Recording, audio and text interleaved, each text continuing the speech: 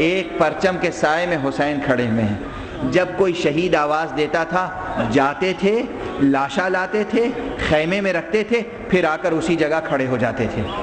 जब अब्बास रुखसत हुए हैं तो रुखसत करने के बाद हुसैन वहीं खड़े हो गए। बीबियाँ सब दर खैमा पे आके खड़ी हो गई। बीबियों की नज़र हुसैन के चेहरे पर है। हुसैन की नज़र मैदान में है। रिकाब पर कदम जमा के उठते हैं, देखते हैं और बैठ जाते हैं। बार बार एक मरतबा बीबी जैनब ने पूछा, भैया, ये क्या कैफियत है? फरमाया, मैदान करबला नशेब फराज है। जब अब्बास किसी नशेबी हिस्से से गुजरते हैं, उनका परचम नज़र नहीं आता तो मेरे दिल को हौल उठती है मैं उठ के देख लेता हूँ जब परचम नज़र आ जाता है, सुकून मिल जाता है, करार आ जाता है, करार आ जाता है। एक मर्तबा, जनाब अब्बास का परचम, चश्मे हुसैनी से ओझल हुआ।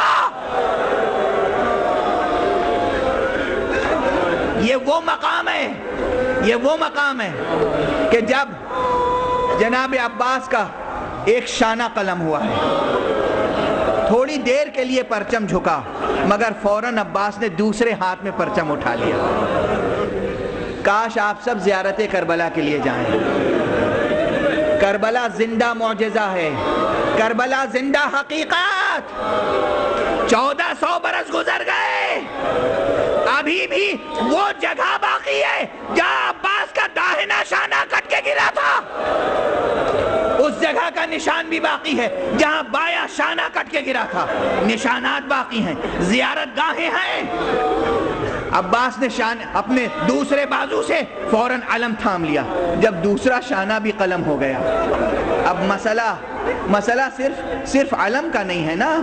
अब्बास के पास एक बहुत बड़ी अमानत है।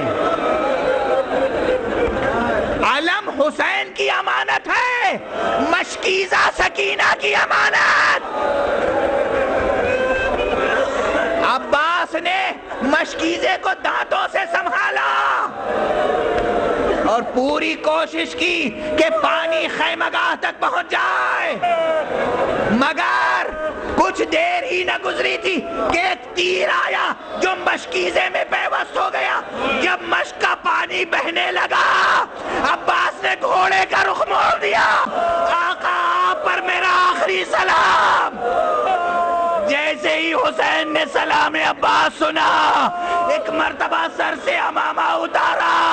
जो परचम सर मुबारक पर था, वो परचम सर निगू कर दिया। अब्बास, खुदा हाफिज। अब हुसैन की कमर टूट गई।